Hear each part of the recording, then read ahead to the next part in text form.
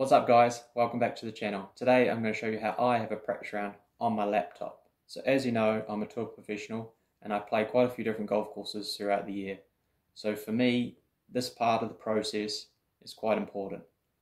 I have a lot of people ask me how many rounds does it take you to really understand a golf course. So for me, I think it's about six or seven times. So this here is essentially a practice round. So I'm going to I'm going to show you how I do it I actually learned this process off a system called Decade. Uh, I'll put the link down below.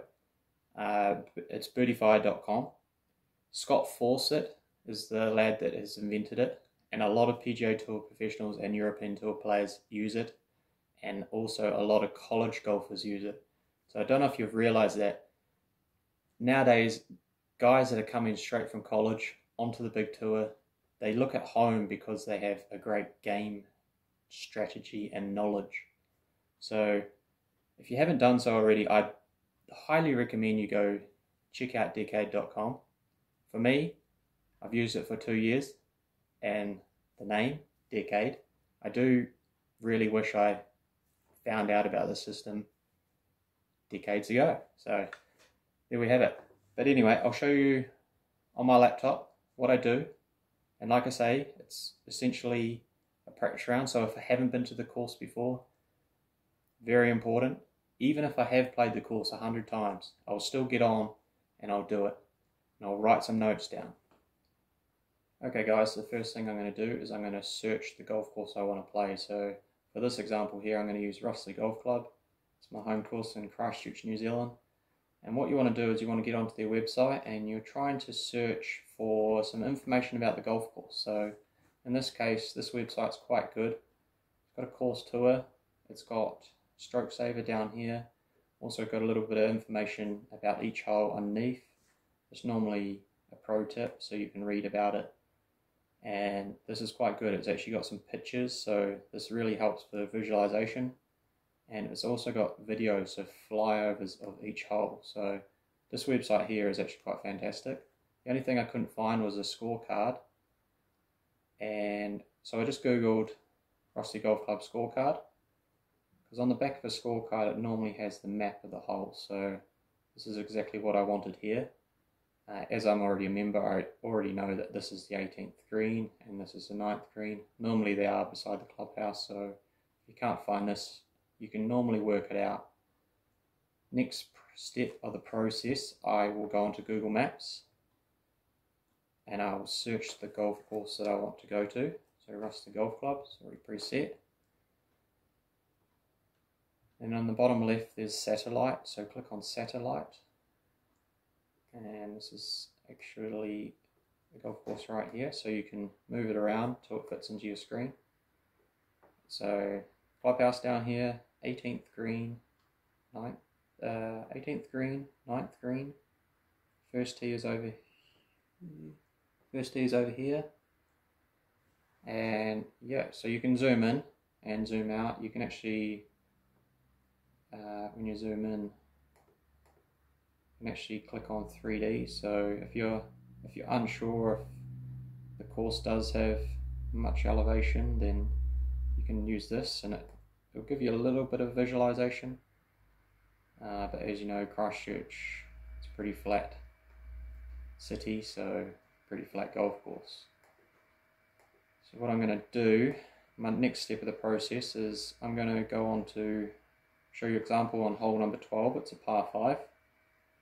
It is always driver bombs away, but some people potentially don't aim in the correct spot. So I'm going to click on the back of the tee block. So I know this is the back of the tee block.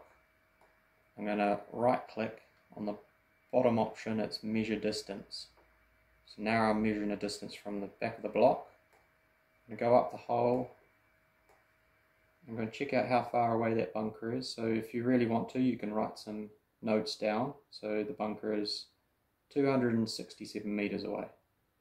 So I hit driver about 280 meters total. So I'll find 280 meters on this side of the fairway and then I'll go over to the other side and find it. So it's about here So I'll let it go there and then I'll go back across to this side of the fairway. So 280 meters to the other side of the fairway is now, it's now 60 meters wide. So this is actually perfect for a driver. I do know that if you hit it in this bunker, it's it's not ideal, but it's not the end of the world. So I still will hit driver. Go back to the edge of the tee block. So I've made myself a triangle. So this here is replicating my shot pattern. So by shot pattern and dispersion, I mean if you were to stand there on a driving range with a TrackMan or a FlightScope or some device to measure how far you're hitting your golf ball and if it's going left or right. Um, you want to hit, say, 20, 25 balls, and you're going to measure the ball that's the furthest left, the furthest right. So I sort of allow myself 50 meters between uh, between sides. So if this was out of bounds on the right and trees on the left, then I just move my triangle across to the right. But in this case, I do know that these trees here,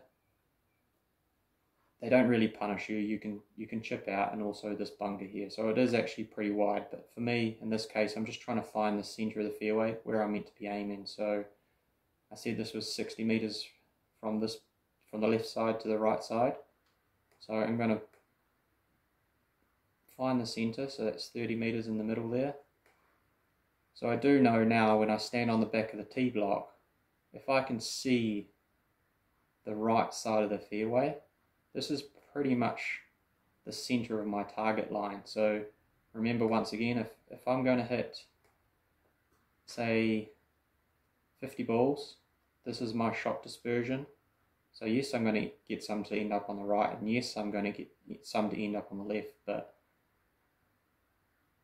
majority of them are going to be absolutely perfect in the middle of fairway, and I'm going to be going at this par 5 and 2. So now that I've done that, I'll use my phone and I'll take a shot, a vid, uh, like a, a photo of this, so I can take it to the course when I do go, and I can just look on my phone, or if I'm really keen, I can actually make myself a stroke saver, or in the stroke saver, I'll write down that at 280 meters, it is 60 meters wide, and my line is the right side of the fairway, that center line. So I do know when I stand up there with confidence, even if I haven't played the golf course before, I can aim at the centre line and hit my shot. Now, if I hadn't played this golf course before and I got there and these trees were lost ball, then I'm obviously going to have to, to move my shot pattern across a bit or I'm going to have to go further back because this seems to be a little bit wider back here. So this process will also work if you hit it 200 meters or 230 meters, you can still work it out, but you do need to know your shot dispersion. So that's that hole done. And now we'll go on to this little dinky par 4 on the back 9. It's actually it's hole number 14. So this hole here, it's I'll just zoom out a little bit so you can see it better. So this hole here, this back of the tee block here, it's a dogleg right over some big high uh, pine trees. Um, for me, this hole is actually really hard to lay up on because it's actually really skinny for me.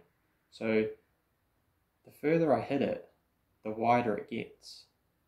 So there is a a water hazard here that you just have to cover. So if I go to the back of the block, once again, right click,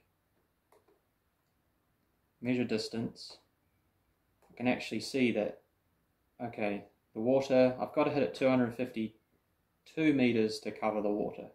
So like I said, my driver goes, it goes about 280. So I think I, I do have 250, 260 cover. So I've got the cover of that. So I'll measure out to 280. I'll find the furthest right part. I do know that this path here is actually out of bounds. It's into the greenkeepers. So 280. I find 280 on this side, which is about there. and I'll do my measurement. So I'll go back to the right side of the fairway, let it go, 280, and then I'll go back across here. So 280 to 350 is 70 meters wide. So I'll go back to the tee block, make my triangle, find the center. So from right side to left side is 70 meters. That's it's pretty wide because my my shot dispersion I allow for 50 meters. So I'm going to find center, make a triangle, and I'm going to take a photo of this. So when I do get to the golf course, I know exactly where I'm meant to be aiming. If I can see through those trees and I can see uh, the left side, left side of the green, that's pretty much where I want it to finish. Um, obviously, if I get ones to go over to the right, then over to the left, they're going to be okay as long as I hit it inside my shot dispersion. So, yeah, that's that's what I do on that hole. I always hit driver, and most of the time, I do know this because I'm a local. That most of the seven times out of ten, this hole is downwind, so I'm really hitting driver up onto the green. Some days I can even hit three wood up onto the green. It's just a matter of how far the downwind it is. Um, obviously, in the future, when these trees grow a little bit more, then yes, my game strategy strategy is going to have to change on this hole a little bit. But at the moment, I'm making the most of the smaller trees and trying to, you know, shoot the lowest scores I possibly can. So. Um, and that's pretty much it. That's pretty much what I do. So I'll go on to every hole and I'll I'll try and work from what I think is the first hole to the 18th hole. Uh, this way I'll get the photos on my phone in order so when I do get to the golf course I can uh, transfer it onto my yardage book. Um, and if we don't have yardage books, then I'll definitely write some notes down. So when I do stand on that first tee, and it's the first time I'm there, I do know where to aim. And then if it's a practice round, then obviously I can learn if left side is bad or right side is bad, and then change my change my move my shot pattern across a little bit. And this way I can be as as aggressive as possible. So yeah, that's just a quick way that I have a practice round on my computer. Uh, I know it's it was a little long and drawn out, but if you do really want to understand this process, you can either hit me up or you can get in touch with birdiefire.com uh, and they'll they'll show you through it. So, like I say, this is a very important part of the process, and I do honestly stand on golf courses that I've never played before, stand on the course and actually feel like I've had a practice round.